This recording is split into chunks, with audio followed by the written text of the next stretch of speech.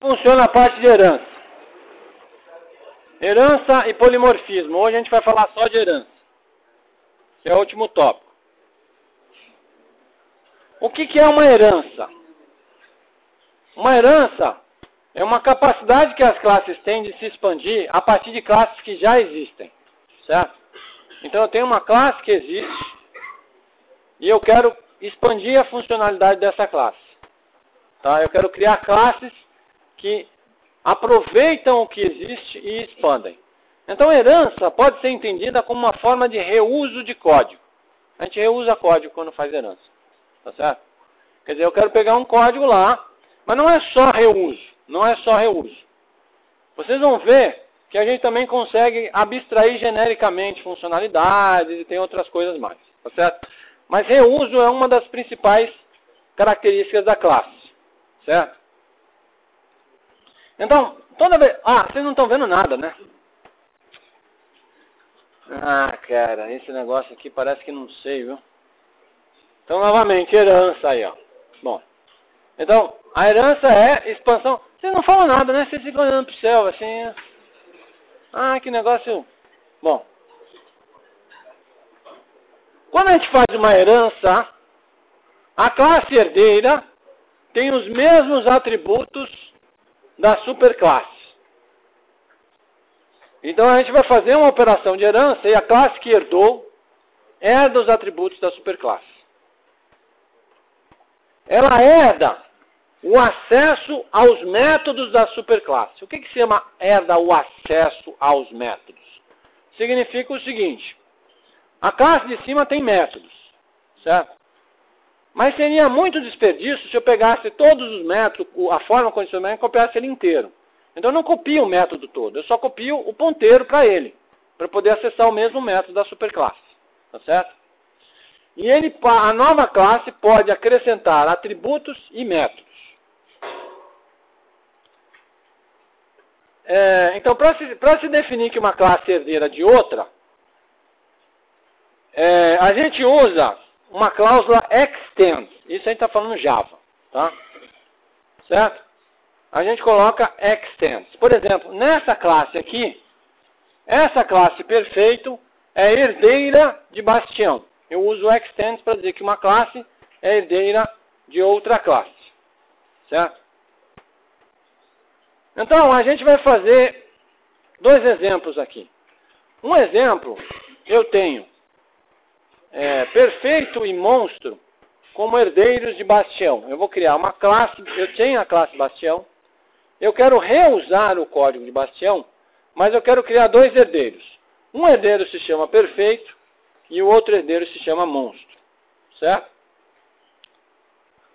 Eles vão, eles vão ter tudo que o Bastião tem, mais algumas coisas que eu quero acrescentar, mais algumas capacidades específicas. Tá?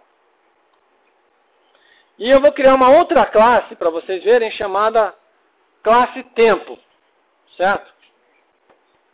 Que eu vou mostrar para vocês que eu posso ter métodos como quantidade, toString, e eu posso ter herdeiros que implementam coisas específicas do tempo. Mas vamos ver aqui no, já, no, no Eclipse que é mais fácil.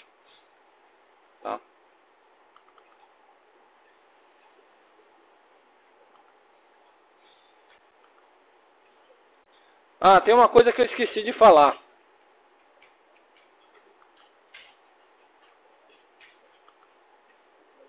Hum, engraçado, a classe tempo não está aqui. Tá. Eu vou usar a classe tempo só é, para mostrar para vocês como é que se escreve herança em UML. Mas eu vou fazer ao contrário. Primeiro eu vou mostrar o código em Java, depois eu vou falar de herança em UML. Tá? Eu vou fazer invertido. Eu primeiro vou fazer uma, um exemplo de herança muito simplinho, bem simples. E aí depois eu evoluo para um exemplo de herança mais complicado. Então, antes de chegar no Bastião, porque Bastião já é uma classe um pouco mais complicada, eu vou pegar uma classe chamada alguém. Certo? O que é a classe alguém? A classe alguém é uma classe que tem um método getNome. Certo? tem o método getNome. E esse método getNome retorna a seguinte mensagem: alguém genericamente. Certo? Muito bem. Ah, não, esse eu não quero mostrar para vocês agora. Eu não sei porque eu estou mostrando esse agora. Esse não. Deixa eu ver aqui, esse aqui. Hum. É, não, eu vou ter que mostrar ele.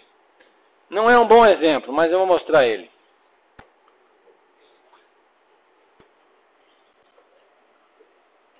Deixa eu pensar aqui. É, eu não comecei com um bom exemplo.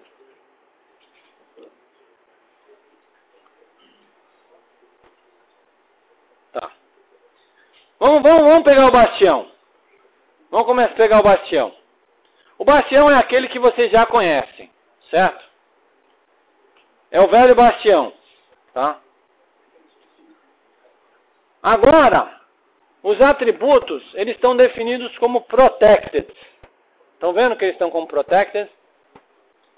O que, que significa estar definidos como protected? Significa que é, eles vão ser visíveis dentro dessa classe. E se eu tiver algum herdeiro, esse herdeiro também vai ver. Certo? Então esse é o bastião igualzinho ao que vocês já conhecem. É o mesmo bastião. Certo? Não mudei nada. Agora, vamos pegar um herdeiro chamado monstro.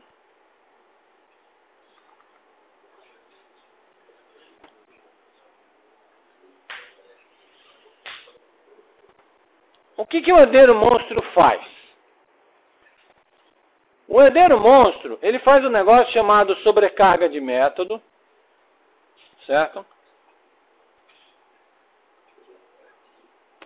É, não, mas eu não queria fazer desse jeito agora. Eu não queria fazer desse jeito agora.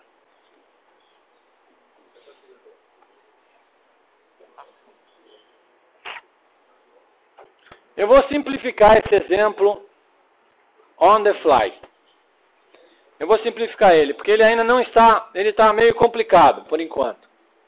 Tá? Ah, eu tenho até ele um ML aqui, que legal. Bom. Eu vou simplificar esse exemplo agora. Eu não vou, eu não vou usar esse não, não hoje, tá? Na próxima aula eu explico por quê. Então a gente vai fazer uma, uma simplificação desse cara agora nesse exato momento. Então eu vou chamar de. Eu vou pegar esse bastião.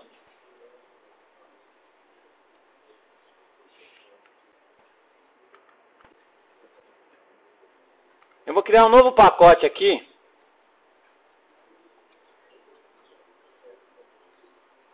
Ô, Oscar, você vai ter que adaptar como o meu aqui, hein?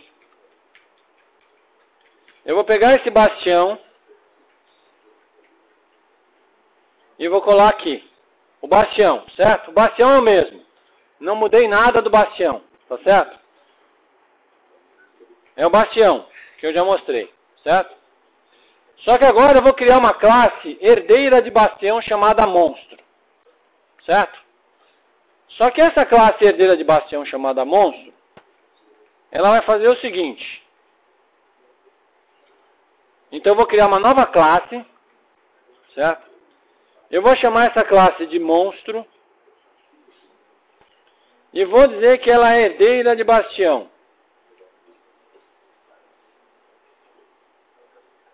Deixa eu ver onde é que eu digo. Superclasse. Superclasse eu vou dizer que ela é herdeira de bastião. Agora qual deles, né? Pode. Eu não vou botar aqui não. Eu só vou botar assim, ele cria a classe. Aí aqui eu faço extends bastião. Certo? Então essa classe é herdeira de bastião. O que, que significa que essa classe é herdeira de bastião? Significa que todos os atributos e métodos de bastião ele herdou. Certo? E agora, eu vou acrescentar um atributo. Esse atributo vai se chamar irritado.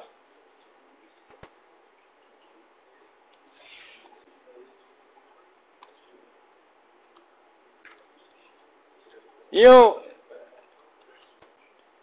eu vou fazer assim. Eu vou criar um construtor. Note que o construtor eu escrevi public, porque eu quero que ele seja visto de fora. Monstro, que é o nome do herdeiro, certo? E o atributo irritado. Tá? E aí, eu vou fazer assim. Irritado é igual a this ponto irritado. Opa, esqueci de colocar o string aqui. Então,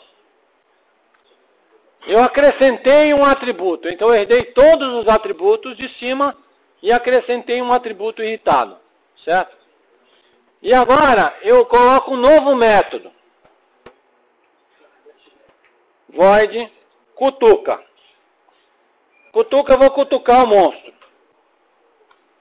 Vou cutucar a onça com vara curta. Vou lá cutucar. Certo? Sim.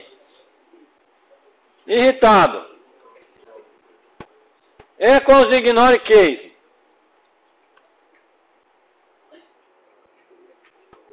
Ah, eu podia botar booleano, né? Booleano é melhor, né? Vamos botar booleano. Boolean. É melhor. Que aí eu não preciso botar o equals ignore case. If irritado, certo? Tudo bem? Eu dou um system out print line Gostou como eu escrevi rápido o sistema de printline? Gostaram? Gostaram do truque? Se ele estiver irritado, ele vai fazer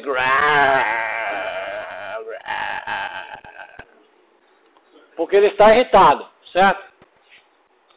Ah.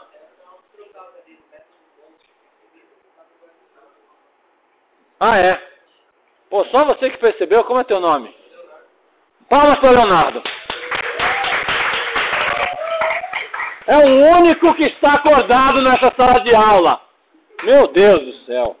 O mundo está completamente perdido. Obrigado, Leonardo.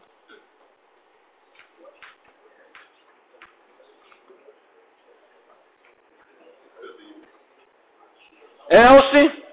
Ó, ó como eu escrevo o sistema de printline rápido, hein? Ó. Ah, hein? Ah. Aí se ele não tiver irritado, ele faz. Pronto. Pronto. Então eu criei. Eu criei um método. Ó, eu peguei, eu disse que ele estende monstro. Oh, bastião. Então ele estende bastião. Tudo que bastião tinha, ele passa a ter. Certo? Só que agora, eu acrescentei um, um atributo é, eu, eu, acrescentei duas coisas. É, eu acrescentei um método cutuca e um atributo irritado, certo? A única coisa que vocês ainda não vão entender direito é esse construtor aqui. Ah, vamos fazer esse construtor melhor. Vamos fazer esse construtor melhor. Porque, como ele herda do de cima, tem o um nome, tem todas aquelas coisas do de cima, não tem? Então o de cima tem. Vamos ver o que, que o de cima tem no construtor. Idade, estado e nome. Certo. Então vamos copiar esses caras aqui. Certo? Para cá. Então eu vou receber idade, estado, nome e irritado. Eu vou receber tudo isso. Certo? E, antes de mais nada, eu vou fazer o seguinte. Eu tenho que fazer isso no início do método. Eu vou escrever isso aqui, ó. Super idade estado e nome. Na próxima aula, a gente vai desenvolver isso melhor. Na próxima aula, a gente vai desenvolver isso melhor. Mas, presta atenção. O que, que isso faz? ele chama o construtor da classe de cima. Certo? Então, eu peguei três dos atributos e repassei esses três para o construtor da classe de cima. Aí ele faz a construção em cima, volta para cá e aí faz o irritado. E aí complementa com o irritado, certo? Vamos usar esse cara herdeiro agora. Certo? Vamos usar esse herdeiro.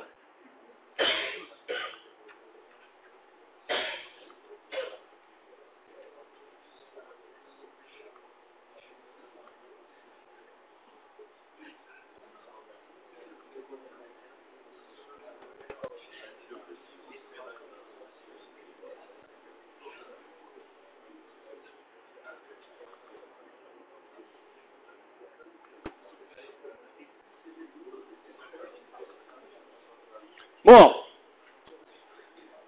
nessa aplicação aqui, eu vou criar dois caras, certo?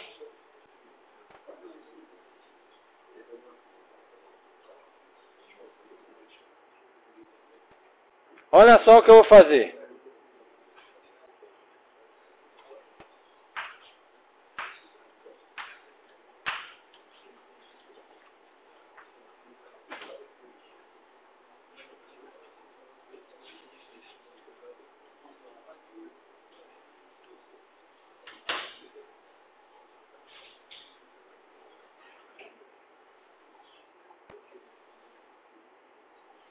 Olha só o que eu vou fazer aqui, ó. Eu vou perguntar pelo teclado qual é o tipo de bastião que você quer, certo? Aí você vai dizer se você quer um bastião clássico ou monstro, tá? Então eu criei duas variáveis.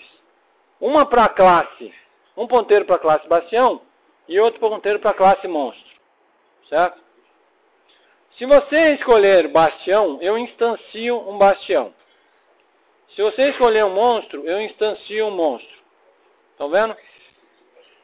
Observem que o construtor do monstro tem todos os parâmetros do construtor do bastião e mais um, que é o true, dizendo que ele está irritado. Certo?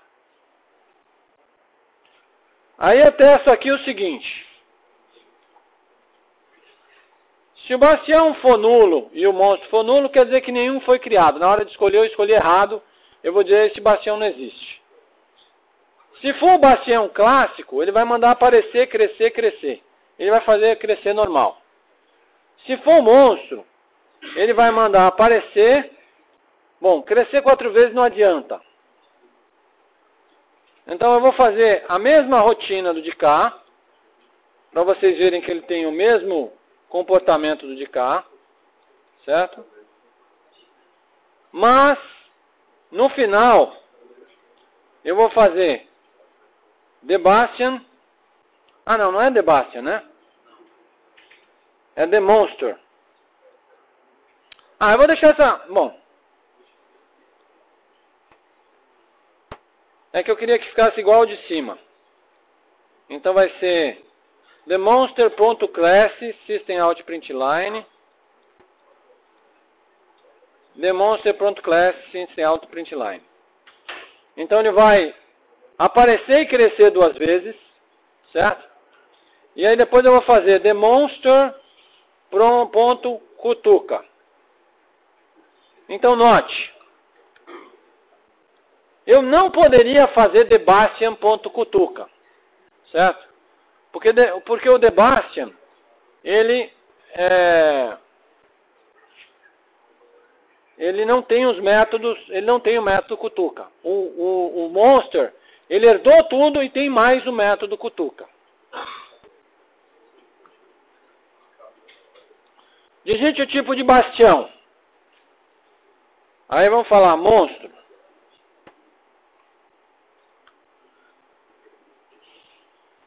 Aí você vê lá, ó, ele criou o monstro e no final ele fez gra, gra.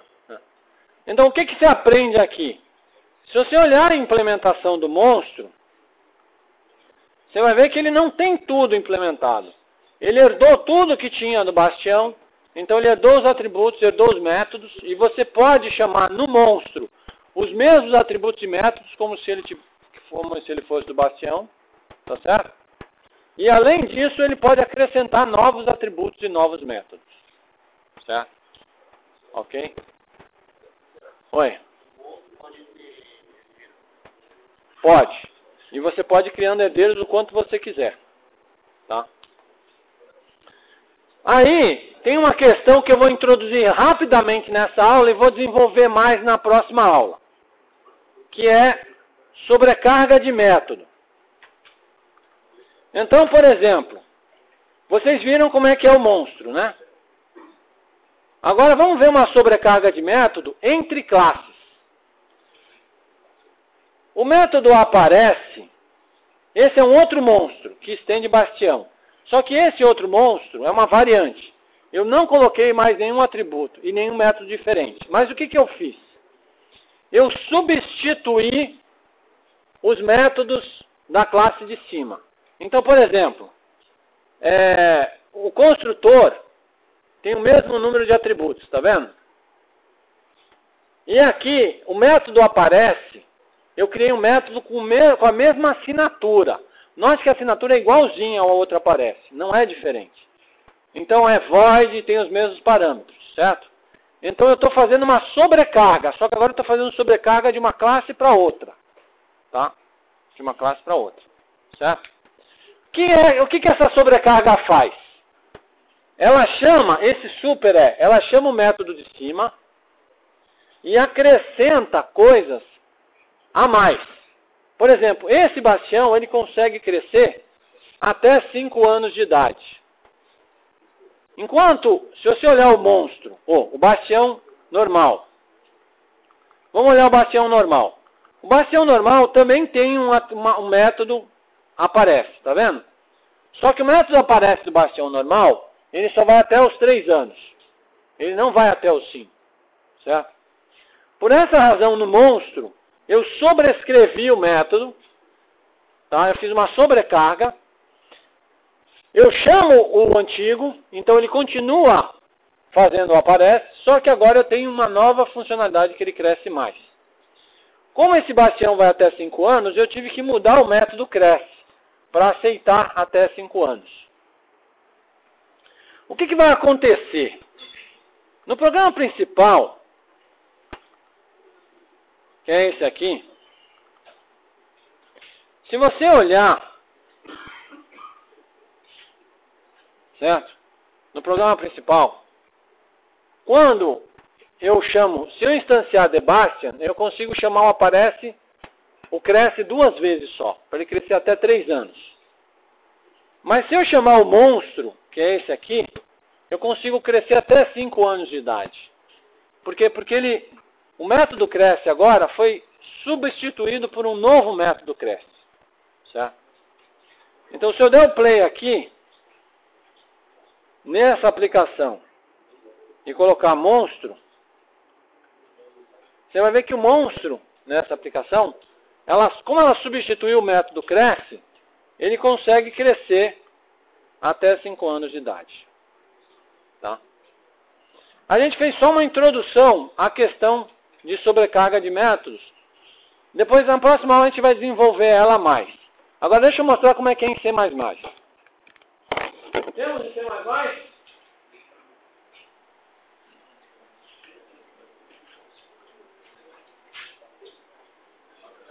Enquanto abre essa transferência para C++ aqui, certo? Um exercício rapidinho. Último exercício. Só enquanto a gente faz a transferência do C++. Exercício para vocês fazerem agora. Peguem aí o papel.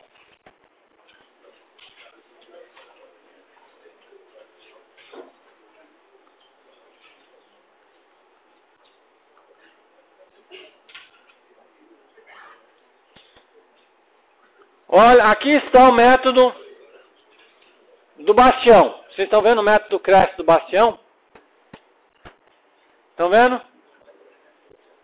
O exercício é: eu quero que vocês façam uma sobrecarga do método Bastião numa nova classe, numa nova classe chamada, o nome que vocês quiserem, Tá certo?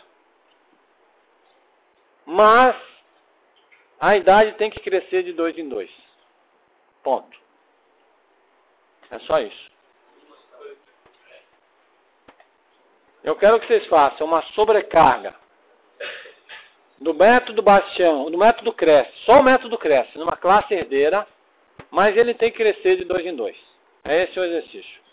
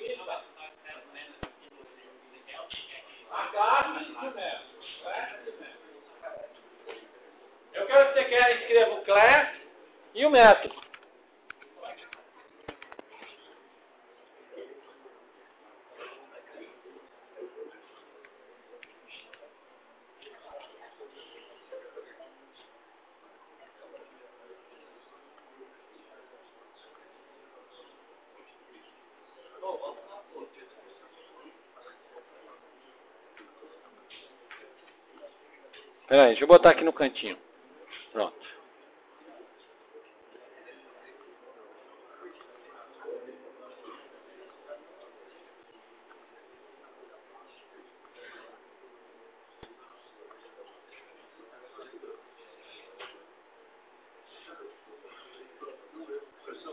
Ah. Restrição da idade? Tem. Pode botar a mesma restrição.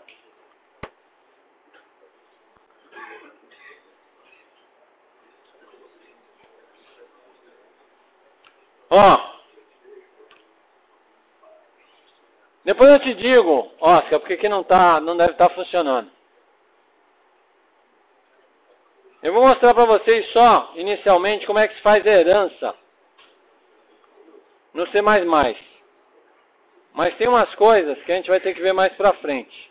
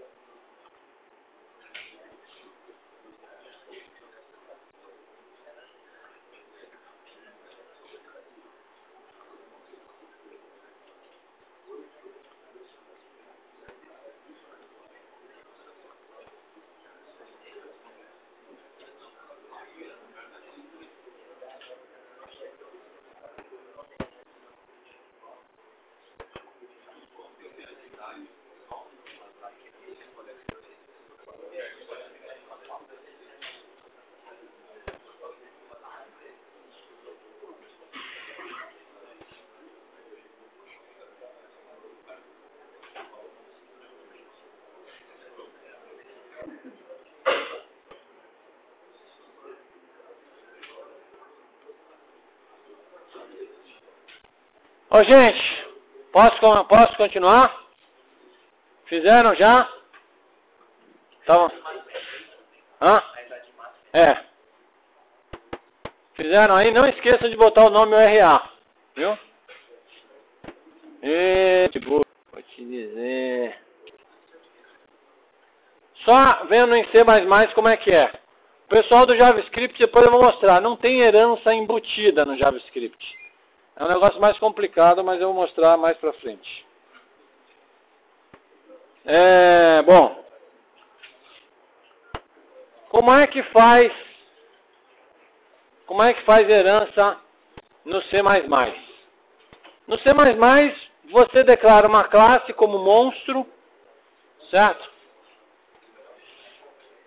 Você declara essa classe como monstro, e aí depois você bota dois pontos Public Bastião, por exemplo.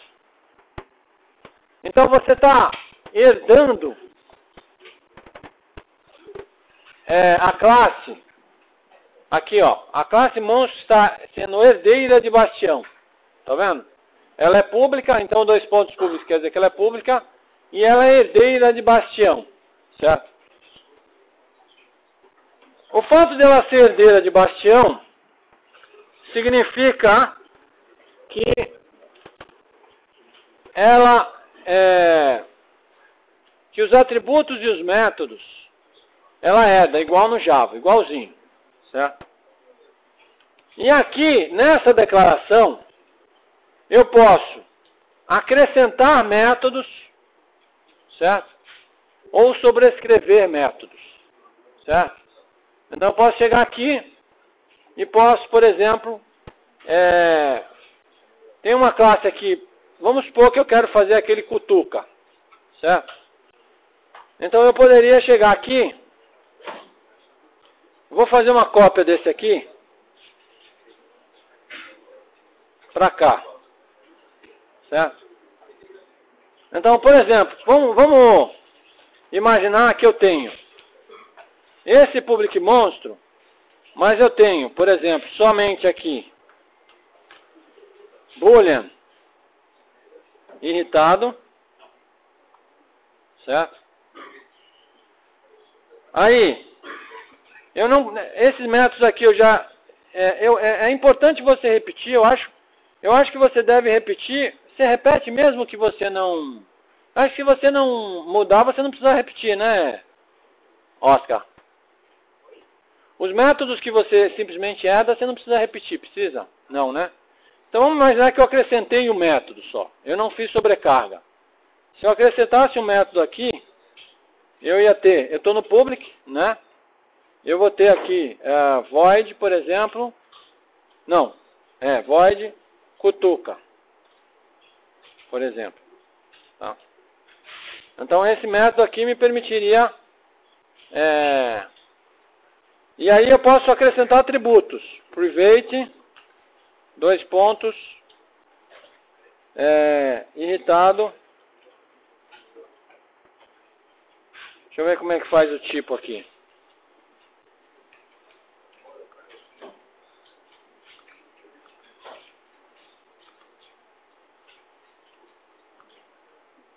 Ah, string. String. Então eu posso colocar irritado, dois pontos, string, por exemplo. Tá? Então nesse caso eu consigo, é, eu herdo os atributos e métodos de, de Bastião e eu posso acrescentar atributos e métodos e eu posso também sobrescrever atributos e métodos em C++, tá certo? E aí na próxima aula eu vou mostrar para vocês ah, como é que é que a gente faz é, isso em JavaScript também. Tá certo? Beleza? Obrigado, gente.